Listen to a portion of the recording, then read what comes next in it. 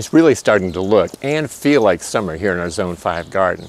After a number of hot sunny days, followed by some thunderstorms, the garden is starting to take off. Today I thought I'd walk with you around the garden to show you what we're growing and harvesting in mid-June.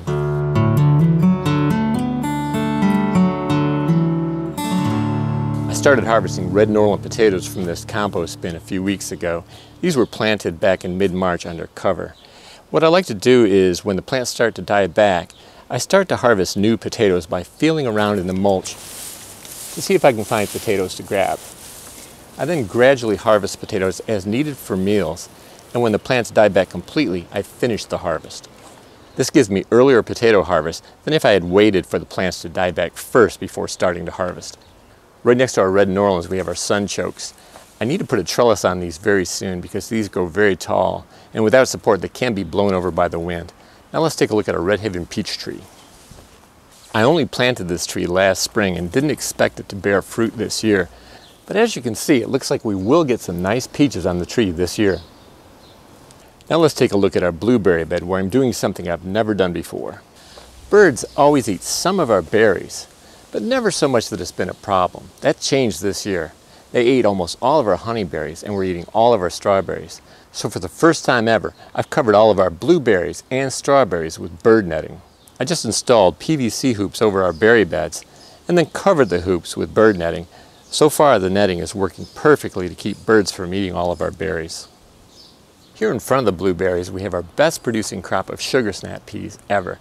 The plants are already taller than me and we can't eat them fast enough, but I am trying.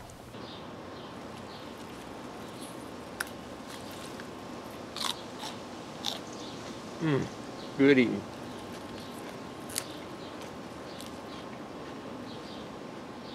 Unfortunately, not everything is doing as well as our sugar snap peas. Two crops that normally do very well for us are struggling this year, kale and collards.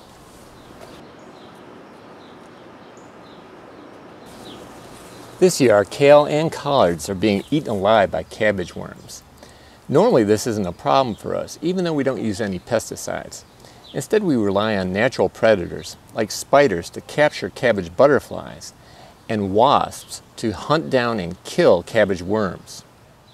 Unfortunately, there are far fewer wasps in the garden this year, and the cabbage worms are having a field day with our greens. On the bright side, though, wasps have found a friendly home here in our garden and have built a nest in our hoop house. We're going to leave those wasps alone so they can hunt down and kill all these cabbage worms that are tearing up our greens. Our kale and collards may be struggling, but our tomatoes are thriving. I planted over 40 tomato plants this year. Some are growing up trellises, and some, like these two sweet millions, are growing up individual EMT conduit stakes. I tie the plants to the stakes with garden tape which won't slip, and I prune all the tomatoes to a single stem by removing the suckers. I'm also continuing an experiment I started last year in which I grow pole beans up the same stake as the single-stemmed indeterminate tomatoes. I wouldn't try this with unpruned tomatoes, but I think it will work well with pruned tomatoes. I'm only growing three pole beans up each stake. Right next to our tomatoes, we have butternut and acorn squash plants, which were started in cold frames two weeks before our last frost. These plants are nearly perfect, except for a little hail damage. We grow these plants vertically, and soon I'll install one of our metal trellises for them to climb. I also need to start inspecting the leaves for squash bug eggs because I found our first squash bug of the season today. Right next to the acorn and butternut squash, we have one of many areas in the garden where we're growing carrots and beets. We're also growing Tokyo Market turnips in a variety of locations around the garden. These turnips are sweeter and more tender than most turnip varieties, and they grow to maturity in just four weeks. We've been harvesting the Tokyo Market turnips for weeks now, but the beets and carrots that were planted in spring aren't quite ready to harvest yet. And in the bed to my right, we're growing Yukon Gold potatoes, organic all blue potatoes, which are flowering. Both of these potatoes should be ready to harvest in July. And here we're growing Cushaw squash. Like the acorn and butternut squash, I started this plant two weeks before our last frost in a cold frame, and it's doing very well. Eventually this will be a massive plant with massive fruit, and it's already putting out tendrils to climb, so I'll be installing a trellis for it very soon. And moving forward, we have our music garlic, tree collards, Swiss chard, elephant garlic, and a plant that's doing astonishingly well, patty pan squash. Like our other squash plants, the patty pan was started two weeks before the last frost in the cold frame, but this one is much bigger than the other plants, probably because it's in one of the more sunny spots in our yard. Okay, now let's take a look at an experiment in which I'm comparing a tomato that was started outdoors under a cold frame in mid-March to the same kind of tomato started indoors at the same time in the grow room.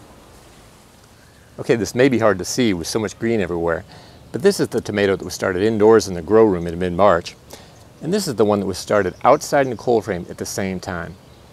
Originally, the outside tomato was much, much smaller, but it's quickly catching up. The indoor tomato is not only taller, but it has larger trusses and more blossoms, but that could change over the course of the growing season. If the tomato started outdoors in a cold frame ends up doing as well as the one started indoors in the grow room, I'll be starting a lot more tomatoes outside next year. Now is a demonstration of the benefits of starting squash early under cover, let's compare our patty pan squash, which was started two weeks before the last frost in a cold frame, to our zucchini, which was started after the last frost. Again, here's our patty pan. As you can see, it's already massive. Now let's look at the zucchini, which is also a summer squash, but it was started after the last frost. As you can see, it's much smaller, so there definitely seems to be an advantage in starting our squash early in cold frames. To finish today's tour, let's harvest a few strawberries. These plants were picked clean by birds just days ago, but now that they're covered with bird netting, we finally have some fresh strawberries to harvest.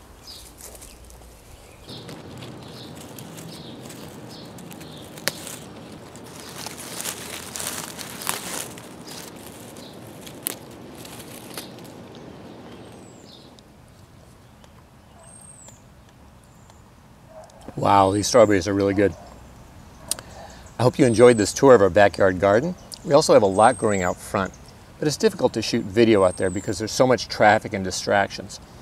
Even so, I'm going to try to bring you a tour of our front yard garden in the near future. As we close, I'll share more images of our backyard garden. If you enjoyed this video, please give it a thumbs up. And if you haven't already, please subscribe for more videos on how to grow a lot of food on a little land without spending much or working harder than you have to.